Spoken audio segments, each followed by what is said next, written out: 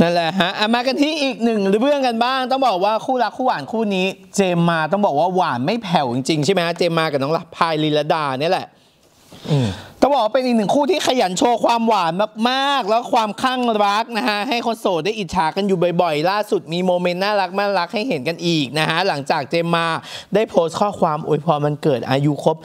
29 ปีให้พายนะฮะเมื่อวันที่ 8 เมษายนที่ผ่านมานะฮะเขาก็โพสต์เป็นภาษาอังกฤษนะครับก็ Happy Birthday ไป ซึ่งแปลเป็นภาษาไทยเนี่ยก็บอกว่าภาพนี้คือ